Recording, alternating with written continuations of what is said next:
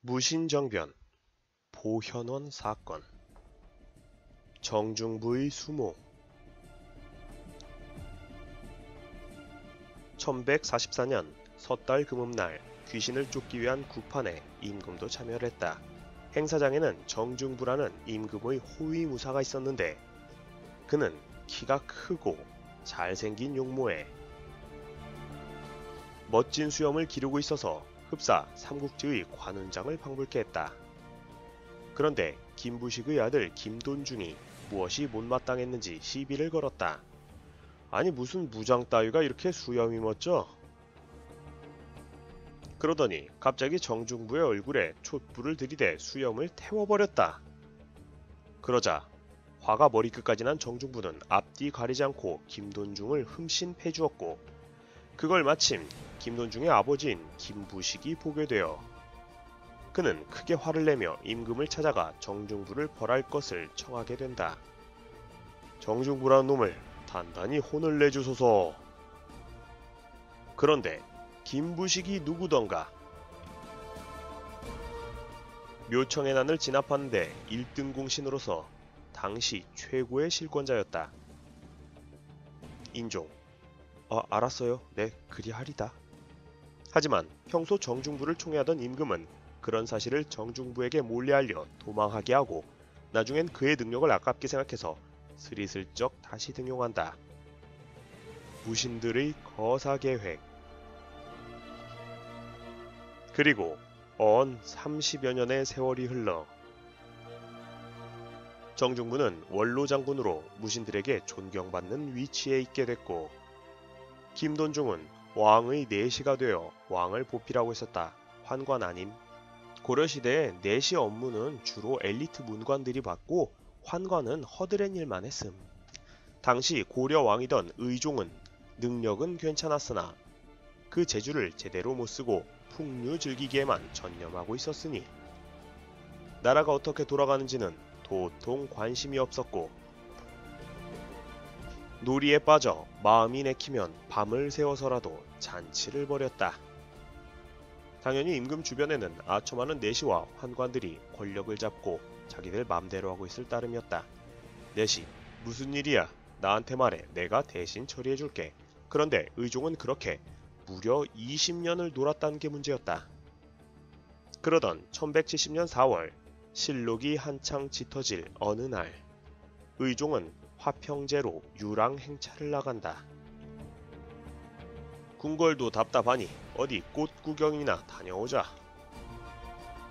그렇게 유랑을 할 때면 늘 문신들을 대동하고 호위무사들을 함께 했는데 문신들이야 왕과 함께 유흥을 즐기며 히히 낙낙거릴 수 있었지만 호위 무신들은 길을 내고 직접 수레를 끌기도 하는 등 육체적으로 힘들었고 제 우리는 술 한 잔 마셔보라는 소리도 없네.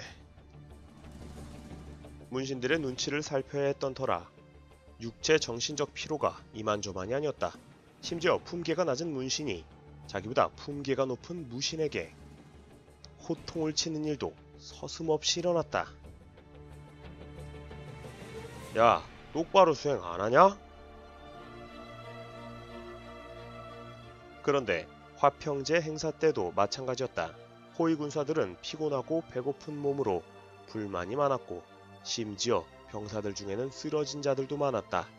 이런 모습을 보고 화가 났던 호위무사였던 이의방과 이고는 기회만 되면 언제 한바탕 엎어버릴 밀담까지 나누는데 이의방 야 확 엎어버리자 못할 게 뭐 있어 칼자루는 우리가 쥐고 있는데 이고 그건 그렇긴 한데 우리가 한다면 모두 동참해줄까? 정중부 장군이 같이 해주신다면 모두 우리를 따를 거야? 그래, 그분이시라면. 그리하여 그들은 자신들의 영모에 원로 장군이던 정중부를 끌어들이는데 장군님, 언제까지 우리가 이러고 살아야 합니까? 이참에 우리가 세상을 뒤집어 보려는데 장군님 생각은 어떠십니까? 당시 65세의 정중부는 예전에 김돈중에게 당했던 수모를 잊지 못하고 있었다. 허, 그게 정말인가? 좋아, 나도 기꺼이 자네들을 돕지. 그렇게 해서 무신정변의 거사 계획이 세워진 것이다. 오현원 사건 무신들이 거사를 도모할 계획을 세우고 넉 달이 지난 1170년 8월 의종이 춘천에 있는 보현원에 가려던 중이었다. 보현원은 절이다.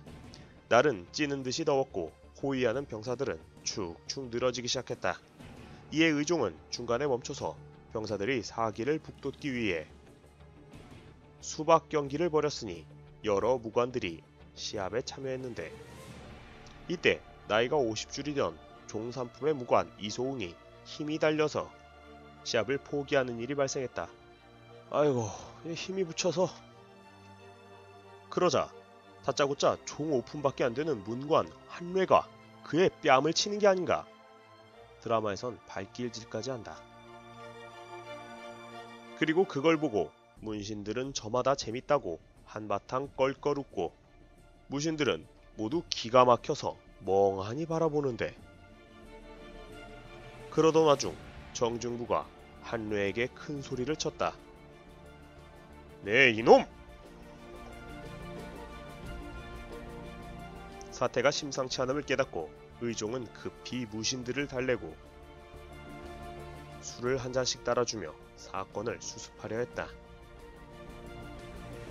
아, 자, 장군, 이 술을 들고 화를 푸시게. 사실 이때 이방 이고등은 이때다 싶어 한바탕 엎어버리고자 했지만 정중부가 슬쩍 눈치를 줘서 겨우 행동을 자제할 수 있었다. 여긴 좋지 않으니 보현원에 도착하면 거기서 거사를 치른다.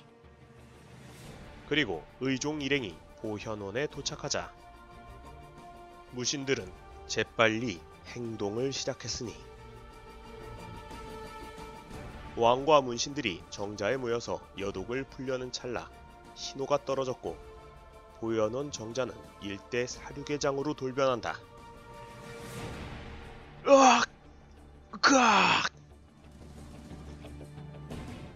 이소웅의 뺨을 치던 한뇌는 의종의 바지꾸랑이를 잡고 살려달라고 애원하고 폐하, 저 좀 살려주십시오.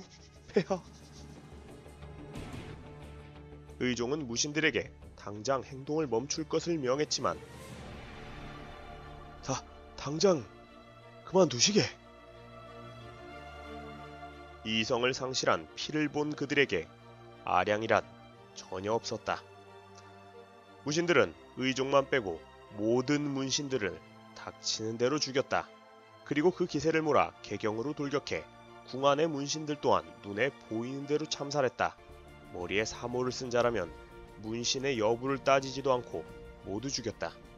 이때 정중부의 수염을 태웠던 김부식의 아들 김돈중도 끔살을 당한다. 당시 의종이 아끼던 환관들 또한 몰살된다. 이후 무신들은 의종을 패하고 거제도로 귀양 보내더니 그의 동생인 명종을 그들의 바지사장으로 옹립한다. 이로써 고려는 무신들이 지배하는 무신 정권 체제로 전환된다.